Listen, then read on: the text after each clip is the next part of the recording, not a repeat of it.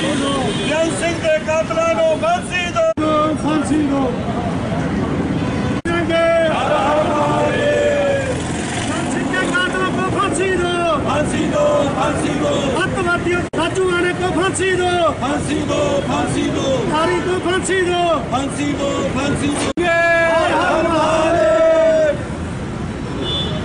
ਸਿੰਘ ਰਾਜੂ ਆਨੇ ਕੋ ਫਾਂਸੀ ਦਿਓ ਫਾਂਸੀ ਦਿਓ ਫਾਂਸੀ ਦਿਓ फांसी दो हत्यावादियों को फांसी दो फांसी दो फांसी दो को फांसी दो फांसी दो फांसी दो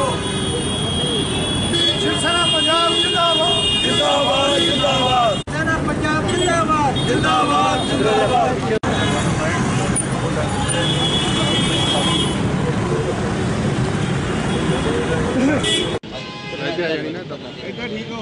ਅੱਜ ਸ਼ਿਵ ਸੈਨਾ ਪੰਜਾਬ ਦੇ ਰਾਸ਼ਟਰੀ ਪੱਧਰ ਦੀ ਇੱਕ ਬੈਠਕ ਹੋਈ, ਜਿਹਦੇ ਵਿੱਚ ਸ਼ਿਵ ਸੈਨਾ ਪੰਜਾਬ ਰਾਸ਼ਟਰੀ ਪ੍ਰਮੁੱਖ ਆਈ ਸੈਲਫ ਸੰਜੀਵ ਘਨੌਲੀ ਸ਼ਿਵ ਸੈਨਾ ਰਾਸ਼ਟਰੀ ਪ੍ਰਭਾਰੀ ਵਿਨੈ ਜਲੰਧਰੀ ਜੀ, ਉਪ ਪ੍ਰਮੁੱਖ ਯਸ਼ਪਾਲ ਠਾਕੁਰ ਜੀ, ਕਪਿਲ ਵਰਮਾ ਜੀ, ਭਾਰਤ ਭੂਸ਼ਣ ਜੀ, ਵਿਪਨ ਸ਼ਰਮਾ ਜੀ, ਰਜੇਸ਼ ਪਲਟਾ ਜੀ, ਪੰਜਾਬ ਤੋਂ ਵੱਖ-ਵੱਖ ਲੀਡਰਾਂ ਨੇ ਆ ਕੇ ਇੱਥੇ ਇੱਕ ਪ੍ਰਦਰਸ਼ਨ ਕੀਤਾ, ਜਿਹਦੇ ਵਿੱਚ ਪੰਜਾਬ ਦੇ ਵਿੱਚ 35000 ਹਿੰਦੂਆਂ ਦੇ ਕਾਤਿਲ ਰਾਜੂਆਣਾ ਬੇਅੰਤ ਸਿੰਘ ਰਾਜੂਆਣਾ, ਅਵਤਾਰ ਸਿੰਘ ਤਾਰੀ, ਇਹਨਾਂ ਨੂੰ ਫਾਂਸੀ ਹੋਣ ਦੇ ਬਾਵਜੂਦ ਅੱਜ ਤੱਕ ਸਰਕਾਰ ਦਾ ਪੈਸਾ ਖਰਾਬ ਕਰ ਰਹੇ ਨੇ।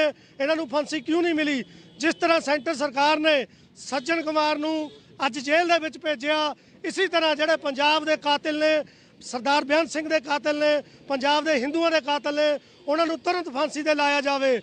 ਅੱਜ ਅਸੀਂ ਜਲੰਧਰ ਤੋਂ ਇਹ ਪ੍ਰਦਰਸ਼ਨ ਸ਼ੁਰੂ ਕੀਤਾ। ਜੇ ਇਹਨਾਂ ਨੂੰ ਫਾਂਸੀ ਨਹੀਂ ਲੱਗੀ ਤਾਂ ਸ਼ਿਵ ਸੈਨਾ ਪੰਜਾਬ ਪੂਰੇ ਸ਼ਹਿਰਾਂ ਦੇ ਵਿੱਚ ਰੋਡ ਜਾਮ ਕਰੇਗੀ ਪ੍ਰਦਰਸ਼ਨ ਕਰੇਗੀ ਤੇ ਇਹਨਾਂ ਨੂੰ ਫਾਂਸੀ ਦੀ ਮੰਗ ਨੂੰ ਲੈ ਕੇ ਇਹ ਬਰਕਰਾਰ ਪੂਰੇ ਪੰਜਾਬ ਦੇ ਵਿੱਚ ਪ੍ਰਦਰਸ਼ਨ ਸ਼ੁਰੂ ਕੀਤੇ ਜਾਣਗੇ। ਜੈਕਾਰਾ ਪੀਰ ਬਜਰੰਗੇ! ਹਰ ਹਰ ਮਹਾਦੇਵ!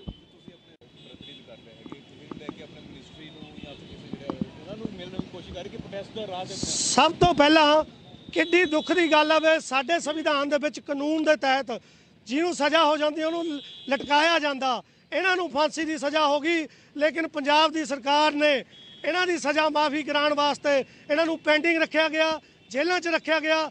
ਅਸੀਂ ਰਾਸ਼ਟਰਪਤੀ ਸਾਹਿਬ ਨੂੰ, ਗਵਰਨਰ ਸਾਹਿਬ ਨੂੰ ਸਪੈਸ਼ਲੀ ਲੈਟਰ ਦੇ ਚੁੱਕੇ ਨੇ। ਮੈਂ- ਅਸੀਂ ਉਹਨਾਂ ਤੋਂ ਟਾਈਮ ਵੀ ਮੰਗਿਆ। 15 ਸਾਲ ਤੋਂ ਇਹਨਾਂ ਤੇ ਖਰਚਾ ਕਰ ਰਹੇ। ਸਾਡੇ ਪੈਸਾ ਜਿਹੜਾ ਮਿਹਨਤ ਦੀ ਕਮਾਈ ਟੈਕਸ ਇਹਨਾਂ ਤੇ ਬ- ਬੇਮਤਵਲ ਤੇ ਇਸਤੇਮਾਲ ਕੀਤਾ ਜਾ ਰਿਹਾ। ਇਹਨਾਂ ਨੂੰ ਸੁਰੱਖਿਆ ਦਿੱਤੀ ਜਾ ਰਹੀ। ਇਹਨਾਂ ਨੂੰ ਫੈਸਿਲਿਟੀਆਂ ਦਿੱਤੀਆਂ ਜਾ ਰਹੀਆਂ। ਕਿੱਡੇ ਦੁੱਖ ਦੀ ਗੱਲ ਹੈ। ਜਿਹੜੇ ਲੋਕਾਂ ਨੇ ਸ਼ਰੇਆਮ ਕਤਲ ਕੀਤੇ ਨੇ, ਉਹਨਾਂ ਨੂੰ ਫਾਂਸੀ ਦੀ ਸਜ਼ਾ ਨਹੀਂ ਮਿਲ ਰਹੀ। ਕਿਵੇਂ ਕਾਨੂੰਨ ਵਿਵਸਥਾ ਠੀਕ ਹੋਏਗੀ? ਸ਼ਿਵ ਸੈਨਾ, ਪਹਿਲਾਂ ਅਸੀਂ ਲੈਟਰ ਲਿਖ ਚੁੱਕੇ ਨੇ। ਹੁਣ ਅਸੀਂ ਪ੍ਰਦਰਸ਼ਨ ਕਰਨ ਤੋਂ ਬਾਅਦ ਅਸੀਂ ਰਾਸ਼ਟਰਪਤੀ ਨੂੰ ਵੀ ਜਾ ਕੇ ਮਿਲਾਂਗੇ ਤੇ ਇਹਨਾਂ ਨੂੰ ਤੁਰੰਤ ਫਾਂਸੀ ਦੀ ਸਜ਼ਾ ਨੂੰ ਬ- ਦੀ ਮੰਗ ਕਰਾਂਗੇ। ਸਭ ਤੋਂ ਪਹਿਲਾਂ ਅਸੀਂ ਪ੍ਰਦਰਸ਼ਨ ਕਰਕੇ ਪੰਜਾਬ ਸਰਕਾਰ ਨੂੰ ਪੰਜਾਬ ਦੇ ਲੋਕਾਂ ਨੂੰ ਜਾਗਰੂਕ ਕਰਨਾ ਚਾਹੁੰਦੇ ਨੇ ਵੀ ਸਾਡਾ ਟੈਕਸ ਦਾ ਪੈਸਾ ਕਿੱਥੇ ਇਸਤੇਮਾਲ ਕੀਤਾ ਜਾ ਰਿਹਾ। ਉਸ ਤੋਂ ਬਾਅਦ ਅਸੀਂ ਰਾਸ਼ਟਰਪਤੀ ਸਾਹਿਬ ਨੂੰ ਮਿਲਣ ਜਾ ਰਹੇ ਹਾਂ। ਪਹਿਲਾਂ ਪੰਜਾਬ ਦੇ ਵਿੱਚ ਚੰਡੀਗੜ੍ਹ ਹਰਿਆਣਾ ਫਿਰ ਅਸੀਂ ਦਿੱਲੀ ਦੇ ਵਿੱਚ ਜਾ ਕੇ ਰਾਸ਼ਟਰਪਤੀ ਸਾਹਿਬ ਨੂੰ ਮਿਲਾਂਗੇ। ਤੁਸੀਂ ਕਹਿ ਰਹੇ ਕਿ ਪੰਜਾਬ ਸਰਕਾਰ ਇਹਨਾਂ ਨੇ ਮਾਫੀ ਇਹਨਾਂ ਦੀ ਸਜ਼ਾ ਮਾਫ ਕਰਵਾ ਲਈ ਆਪਣਾ ਕਿ ਪੰਜਾਬ ਸਰਕਾਰ ਦਾ ਤੁਹਾਨੂੰ ਕੀ ਲੱਗਦਾ ਕਿ ਕਿਸ ਤਰੀਕੇ ਦਾ ਰਵੱਈਆ ਹੈਗਾ ਸਾਡੇ ਦੇਸ਼ ਦੇ ਵਿੱਚ ਲੋਕਤੰਤਰ ਦੇ ਵਿੱਚ ਭੱਦਾ ਮਜ਼ਾਕ ਕੀਤਾ ਜਾਂਦਾ, ਵੋਟਾਂ ਦੀ ਰਾਜਨੀਤੀ ਕਰਨ ਵਾਸਤੇ ਧਰਮ ਨੂੰ ਆੜ ਦੇ ਵਿੱਚ ਲਿਆ ਜਾ ਰਿਹਾ ਹੈ। ਇਹਨਾਂ ਦੀਆਂ ਵੋਟਾਂ ਦੀ ਰਾਜਨੀਤੀ ਕਰਕੇ ਇਹਨਾਂ ਨੂੰ ਫਾਂਸੀ ਨਹੀਂ ਲਾਈ ਜਾ ਰਹੀ। ਕਿੱਡੇ ਦੁੱਖ ਦੀ ਗੱਲ ਹੈ, ਮੈਂ ਕੋਰਟ ਤੋਂ ਫਾਂਸੀ ਦੀ ਸਜ਼ਾ ਮਿਲਣ ਤੋਂ ਬਾਅਦ ਸਰਕਾਰਾਂ ਸਿਰਫ ਵੋਟਾਂ ਦੀ ਰਾਜਨੀਤੀ ਕਰ ਰਹੀ ਆ ਅਸੀਂ ਇਹ ਹੁਣ ਇੱਥੇ ਦੇ ਲੋਕ ਪੜ੍ਹੇ ਲਿਖੇ ਨੇ, ਜਾਗਰੂਕ ਹੋ ਚੁੱਕੇ ਨੇ। ਅਸੀਂ ਵੋਟਾਂ ਦੀ ਰਾਜਨੀਤੀ ਨਹੀਂ ਕਰਨ ਦਵਾਂਗੇ, ਜੋ ਕਾਨੂੰਨ ਦੇ ਅਨੁਸਾਰ ਸਜ਼ਾ ਉਹਨੂੰ ਬਰਕਰਾਰ ਕਰਾਵਾਂਗੇ। ਸਰਕਾਰਾਂ ਕਹਿ ਰਹੀ ਕਿ ਇੱਧਰ ਕੁਝ ਨਹੀਂ ਹੈਗਾ। ਜੀ। ਬਸ ਇਸ ਮੌਕੇ ਇੱਧਰ ਸ- ਸਰਕਾਰ ਵੱਲੋਂ ਪੈ ਰਹੀ ਮਾਫੀ ਦੀ ਕੁਝ ਉਹਨੂੰ ਲੈ ਕੇ ਦੇਖੋ ਕਿਸੇ ਵੀ ਚੀਜ਼ ਦੀ ਚੰਗਾਰੀ ਉੱਠਦੀ ਹੈ ਤਾਂ ਉਹ ਭਮੱਕੜ ਵੀ ਬਣ ਜਾਂਦੀ ਹੈ 2020 ਨੂੰ ਲੈ ਕੇ ਪੰਜਾਬ ਦੇ ਵਿੱਚ ਪੋਸਟਰ ਲਾਏ ਗਏ ਨੇ।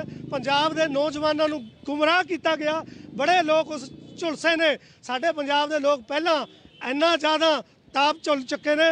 ਪਰ ਸਰਕਾਰਾਂ ਹੁਣ ਵੀ ਰਾਜਨੀਤੀ ਕਰ ਰਹੀਆਂ ਨੇ, ਧਰਮ ਦੀ ਵੋਟੀਆਂ ਇਕੱਠੀਆਂ ਕਰਨ ਵਾਸਤੇ ਧਿਆਨ ਨਹੀਂ ਦੇ ਰਹੇ।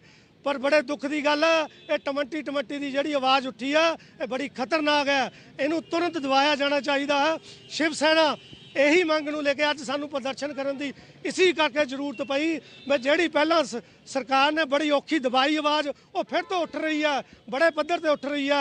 ਐਨੇ ਬੰਬ ਆਏ ਨੇ ਪੰਜਾਬ ਦੇ ਵਿੱਚ ਐਨੀਆਂ ਗੋਲੀਆਂ ਚੱਲੀਆਂ ਇੰਨੇ ਲੋਕ ਮਾਰੇ। ਸਰਕਾਰ ਹਲੇ ਵੀ ਇਹਨਾਂ ਤੇ ਨੱਥ ਨਹੀਂ ਪਾ ਰਹੀ। ਸਰਕਾਰ ਨੂੰ ਸਖਤ ਹੋਣਾ ਚਾਹੀਦਾ। ਸਰਕਾਰ ਤੇ ਕਹਿ ਰਹੀ ਹੈ 2020 ਦਾ ਸਿਸਟਮ ਕੁਝ ਨਹੀਂ ਹੈਗਾ ਬਸ ਕੁਝ ਕੁ ਲੋਕ ਨੇ ਜਿਹੜੇ ਇਹਨਾਂ ਦੇਖੋ ਸਰਕਾਰ ਸੁੱਤੀ ਪਈ ਆ ਲੋਕਾਂ ਦੀਆਂ ਭਾਵਨਾਵਾਂ ਨੂੰ ਨਹੀਂ ਜਾਣ ਰਹੀ। ਜਿਹੜੀ ਨੌਜਵਾਨ ਪੀੜ੍ਹੀ ਆ, ਉਹ ਪੈਸੇ ਦੇ ਲਾਲਚ ਦੇ ਵਿੱਚ ਗੁੰਮਰਾਹ ਹੋ ਰਹੀ ਆ। ਜੇ ਸਰਕਾਰ ਕਲੀਅਰ ਆ, ਤਾਂ ਸੁਰੱਖਿਆ ਹਟਾ ਦੇਣ, ਤਾਂ ਪੰਜਾਬ ਦੇ ਵਿੱਚ ਅਮਨ ਸ਼ਾਂਤੀ ਦਾ ਦੱਸਣ, ਅੱਜ ਇੰਨੇ ਲੋਕ ਪੰਜਾਬ ਦੇ ਵਿੱਚ ਮਰੇ ਨੇ, ਉਹ ਕਿਉਂ ਮਰੇ ਨੇ? ਇਹੀ ਕੰਮ ਹੈ 2020 ਦੀ। 20 ਦੀ ਲਹਿਰ ਬੜੀ ਮਜ਼ਬੂਤ ਹੋ ਰਹੀ ਆ। ਜੇ ਸਰਕਾਰ ਨੇ ਧਿਆਨ ਨਾ ਦਿੱਤਾ, ਕੇਂਦਰ ਗ੍ਰਹਿ ਮੰਤਰੀ ਨੇ ਖੁਦ ਸਦਨ ਦੇ ਵਿੱਚ ਬਿਆਨ ਦਿੱਤਾ ਵੀ ਮਾਹੌਲ ਖਰਾਬ ਹੋ ਰਿਹਾ ਹੈ। ਫਿਰ ਕਿਵੇਂ ਨਹੀਂ 2020 ਦੀ ਆਵਾਜ਼ ਨੂੰ ਇਹ ਸਰਕਾਰ ਨੂੰ ਦਬਾਉਣਾ ਚਾਹੀਦਾ, ਸਖਤੀ ਨਾਲ ਦਬਾਉਣਾ ਚਾਹੀਦਾ? ਥੈਂਕ